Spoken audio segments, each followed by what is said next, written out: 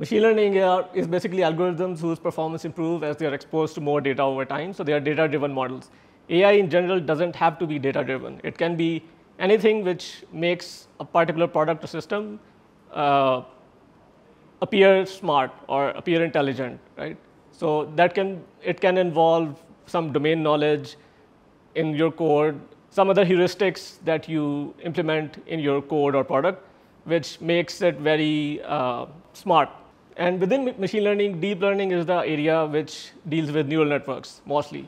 So when I see deep learning, I almost always have this translation in my head which says that, okay, deep learning is just neural networks. Because this is what really gave the, this whole field a boost in the last 10 years.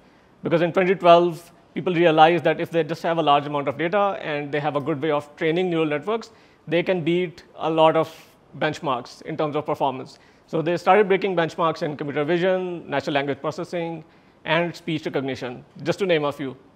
So what, what was happening is older learning algorithms did not benefit a lot from very large amounts of data. But neural networks benefited a lot from just having large amounts of data. This could be labeled data or without labels as well. So much so that it actually beat human level performance in some very specialized tasks, like image recognition and uh, so, some other tasks. So this is what really brought AI and machine learning overall into the limelight in the, in the recent years.